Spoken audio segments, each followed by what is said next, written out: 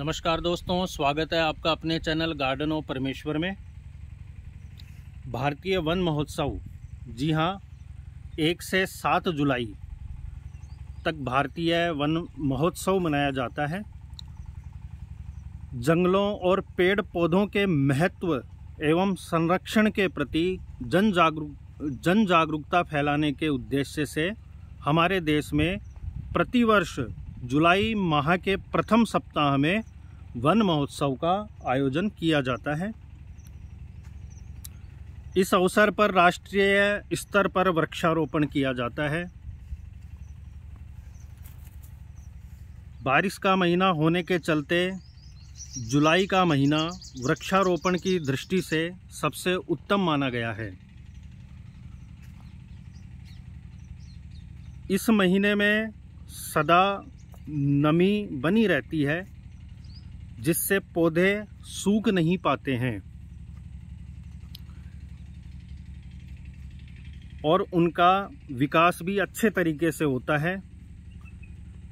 वनों की हमारे जीवन में अहम भूमिका होती है। ये हमें भोजन, आवास, प्राणवायु, औषधियाँ आदि सभी जीवन उपयोगी चीज़ें प्रदान करते हैं।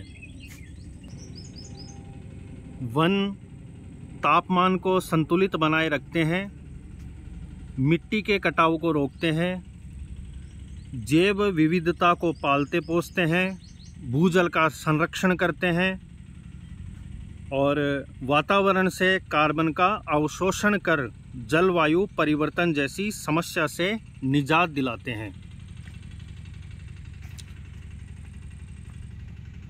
लेकिन आज सड़क, बाँध, शहरीकरण जैसे भौतिक विकास की होड़ में वनों की जो है अंधाधुंध कटाई जा रही है। बड़े बड़े वृक्ष और जंगल मानवीय विकास की भेंट चढ़ गए हैं। आज ज़रूरत है कि हम वनों का संरक्षण करें, क्योंकि वनों से ही हमारा वजूद है। अगर वन है तो हम हैं, और वन नहीं है तो हम नहीं हैं। वन महोत्सव पे ये जानकारी आपको पसंद आई हो तो वीडियो को लाइक करें और मेरे चैनल को सब्सक्राइब करें। धन्यवाद दोस्तों।